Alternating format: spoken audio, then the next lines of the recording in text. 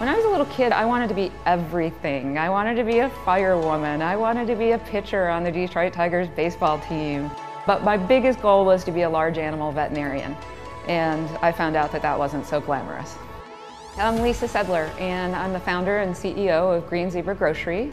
Think of Green Zebra Grocery as the love child of Whole Foods Market and 7-Eleven, where health meets convenience. I got to be where I am today through grit and determination like most every entrepreneur. It really comes down to having a big vision and being ready to just chase after it. It's kind of hard sometimes as an entrepreneur to think of yourself um, as successful when you're still struggling so much every day. There were probably a million failures before I got to this point.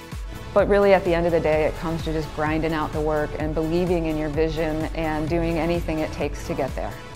Saw a lot of uh, creative retail strategies being applied in other industries, uh, but none applied to the area that I was most passionate about, the outdoors. I'm Rob Little, I'm the founder and CEO of Cairn. Cairn's a community of active adventurers that we connect and inspire through product and ideas. When we started Cairn, uh, I thought that it would be uh, sort of a quiet and uh, lonely process to build a business, and I was proven very quickly that's not the case as uh, there are a lot of people who have bent over backwards to help this business and to help see it grow. We retain the entrepreneurial spirit in our company by hiring good people, um, setting big and audacious goals, and letting them decide how best to achieve them. The best part about being an entrepreneur is uh, not thinking about what I'm going to do next in my career, as it's exciting and um, completely consuming to focus on building the business that I've created. We're pretty excited to take our passion for whiskey uh, and go out there and share our passion for whiskey uh, with the world and hope that there were other people that were passionate about it and wanted to customize and create something of their own and, and experiment with a tool that hadn't been out there for them to use before. My name's David Jackson. I'm the current CEO for Time and Oak, a local company that came up with a product called the Whiskey Element. Uh, what the Whiskey Element is, is essentially the exact same wood we've been making whiskey barrels out of for hundreds of years, but we redesigned the barrel to go into the bottle.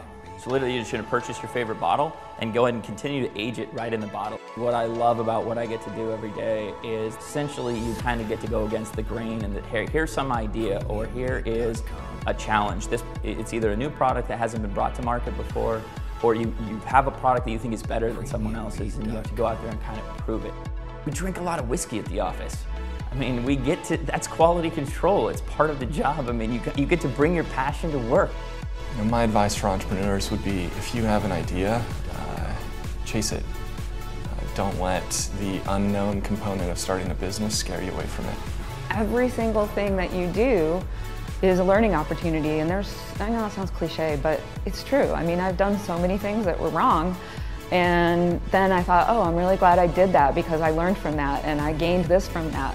When you're being honest and you're doing the right thing, you have integrity in your product, someone tells you they don't like it, you have to be able to say, that's all right.